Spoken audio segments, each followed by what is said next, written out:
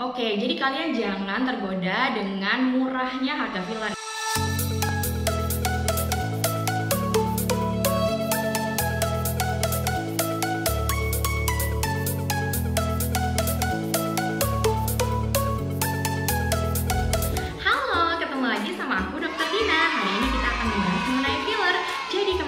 banyak sekali pertanyaan akan jawab satu-satu. Mudah-mudahan bisa menjawab secara keseluruhan ya.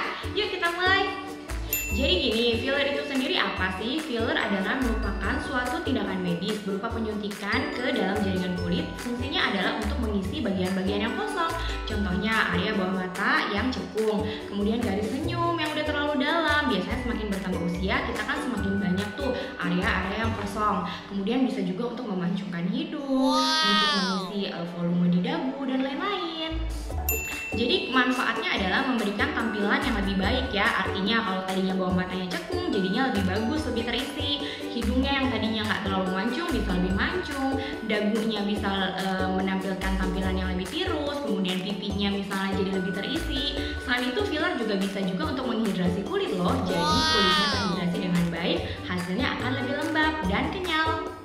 Oke, jadi sebenarnya area mana aja sih dok yang dapat disuntik filler itu seluruh area wajah tuh bisa, tapi pada umumnya biasanya bawah mata, garis senyum, dagu, pipi, kemudian bahkan di sini ya di bagian yang uh, kosong-kosong di sini juga bisa diisi filler. Biasanya tapi kalau pria lebih ke untuk kayak membentuk rahangnya biar lebih maskulin kelihatannya gitu. Tentu saja perlu karena kalian sebagai pasien harus menerima informasi yang sejelas-jelasnya dan selengkap-lengkapnya mengenai apa sih fungsi dari suntikan filler itu sendiri dan bagian mana aja sih yang sebenarnya perlu di filler dari wajah kalian gitu. Jadi kalian sebagai pasien perlu banget mendapatkan informasi yang baik.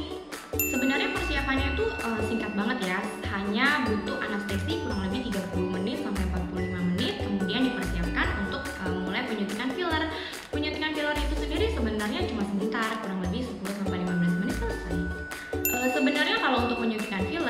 dari keluhannya ya, jadi indikasinya biasanya mulai uh, cekungan itu tumbuh pada usia berapa sih, terus garis senyum dalam biasanya muncul di usia berapa sih, biasanya tuh usia-usia udah uh, menjelang dewasa ya, udah udah uh, 30-an ke atas itu biasanya baru mulai melakukan suntik filler. Tapi ada juga sih yang usia 27, 28 sudah mulai menyuntikan filler gitu. Jadi tergantung dari indikasinya.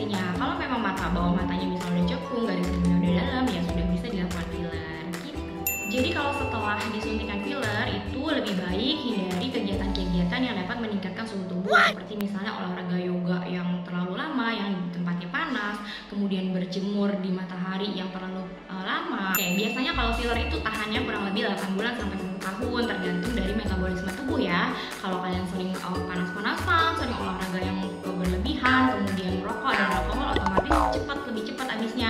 Jadi kurang lebih dalam jangka waktu 8 bulan biasanya sudah di retouch atau diulang kembali kalau misalnya di Indonesia itu kandungan yang ada di dalam filler adalah hyaluronic acid. Jadi hyaluronic acid itu sebenarnya sudah ada di tubuh manusia, namun semakin bertambahnya usia semakin berkurang. Oleh karena itu kita perlu tambahkan dari luar. Jadi aman sekali. Oleh karena itu makanya dia tahannya tuh uh, kurang lebih 8 bulan sampai 1 tahun itu kan. Jadi dalam jangka waktu 8 bulan sampai 1 tahun nanti akan diserap oleh tubuh hilang.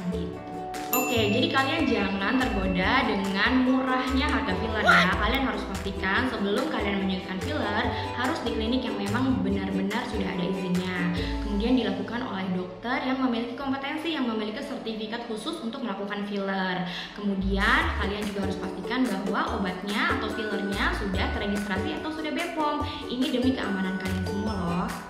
Sebenarnya sih kalau dikerjakan di klinik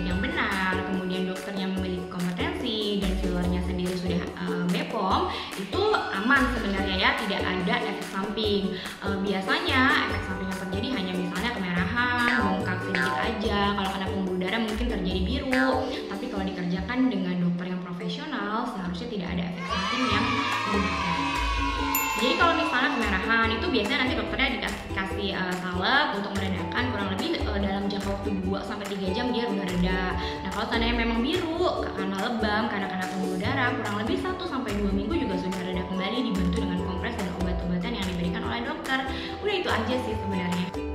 Oke, jadi kesimpulannya filler itu aman asalkan kalian kerjakannya di klinik yang memang memiliki izin. Kemudian dilakukan oleh dokter yang memiliki kompetensi dan pastikan bahwa fillernya memang sudah terregistrasi atau sudah BPOM ya. Hati-hati dalam memilih tempat dan dokter untuk kalian melakukan tindakan filler. Semoga informasi yang aku berikan bermanfaat.